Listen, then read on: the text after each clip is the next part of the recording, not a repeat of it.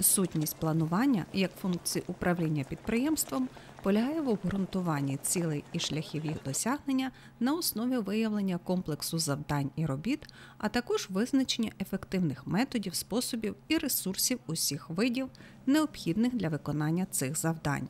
Планування є основною ланкою та організаційним початком всього процесу реалізації цілей підприємства. Залежно від термінів, на які складаються плани, планування поділяється на перспективне, середньострокове та поточне.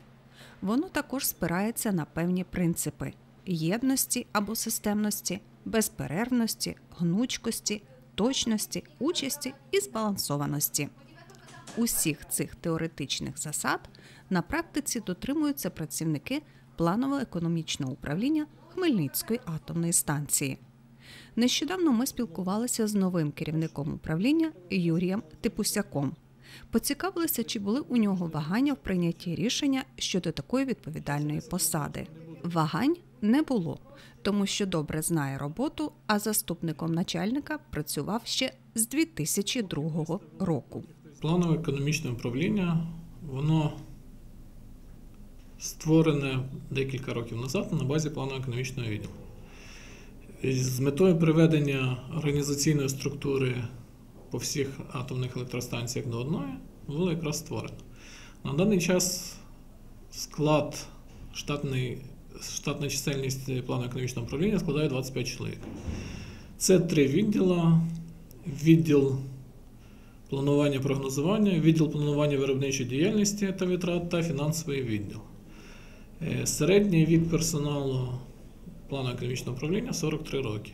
Ну і середній стаж на ВПХС складає 18 років. Е, тобто, що персонал не є новачками і має здатність і спроможність виконувати поставлені задачі в фінансово економічному плануванні. Забезпечення фінансово-економічного планування діяльності Хмельницької АЕС, спрямованого на покращення техніко-економічних показників роботи підприємства, це головне призначення планово-економічного управління.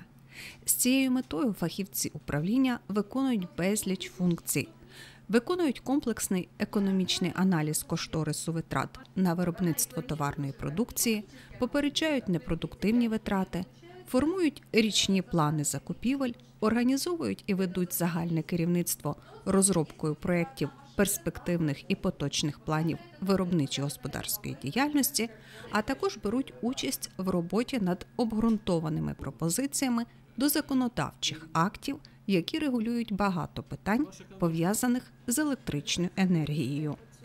Ми поцікавилися у Юрія Типусяка з якими труднощами йому доводиться зіштовхуватися у своїй роботі. Все змінюється. Були одні моменти розрахунків, стали другі. Були ліміти, стали бюджети. Була прив'язка до кошторису, зараз більше прив'язка до надходження грошових коштів.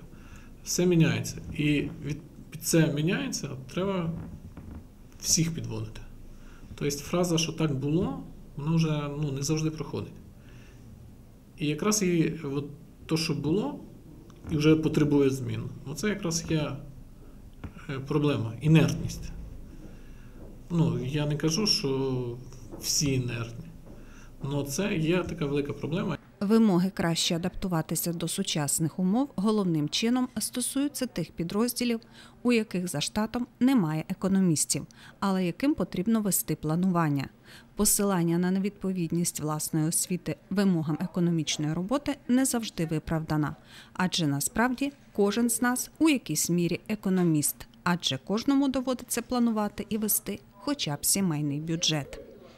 Сподіваємося, цілеспрямована позиція молодого керівника і здатність зацікавлювати інших у розвитку та пошуку рішень сприятимуть подоланню усіх перешкод, які можуть зустрітися на професійному шляху. А на завершення варто додати, що планово-економічне управління Хмельницької атомної станції це потужний інтелектуальний центр, який грамотно планує і ефективно впроваджує усі засади господарської діяльності ядерного підприємства.